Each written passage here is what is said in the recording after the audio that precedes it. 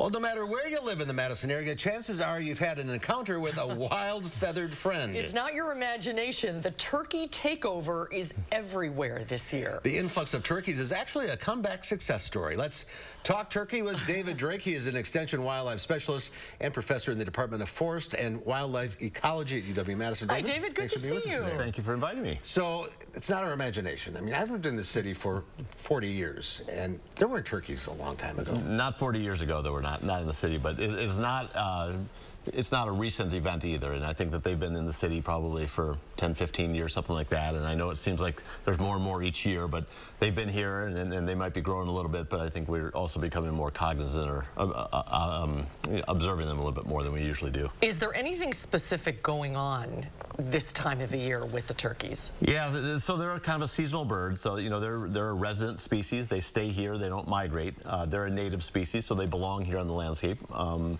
and in the wintertime, they tend to flock up. So they have a mixed uh, mixed sex flock. So both males and females will get together, and then as winter starts to wane and spring comes on, then the males start to gain these hormones in their body and they start to get kind of aggressive and, and they start uh, getting interested in breeding the females and then they'll start breaking up. Uh, that Those flocks will break up in the springtime. Uh, the males will, will, mate the females and the females will go off on their own and uh, nest uh, and then they kind of will, the females will spend the summer taking care of the young, what we call the poults, and then uh, the whole cycle will repeat again this time of the year. They'll flock back up and keep going. So it's the aggression of, of, the toms in the spring. It's the mating season. They're pretty docile the rest of the year. Relatively docile, yeah. You know, I mean, I think that they're they're going to flee you more than uh, than bother you.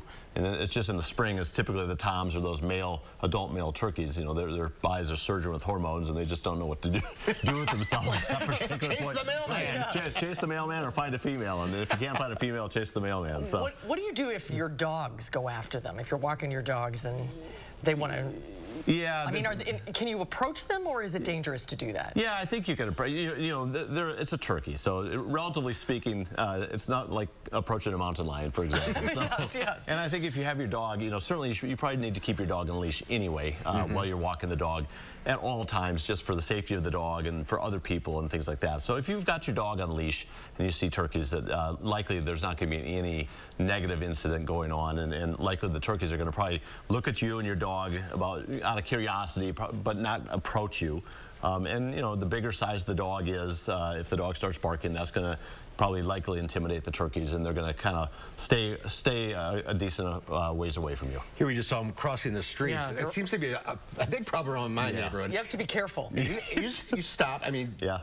I heard don't honk the horn. Is that a is that a fallacy? Well, I think if you honk the horn, it may scare them. You know, the issue with not just turkeys, but it could be deer or raccoons or crows, whatever the case is. That you know, these animals that live in the cities with us they habituate to us or start losing their fear of human beings. And as that occurs, then they get a little bit more bold and perhaps you, you might honk your horn and nothing happens. Uh, whereas a turkey that may have just come into the city uh, and may not be as used to the sights and sounds of human beings, if you honk your horn, they might react a little differently.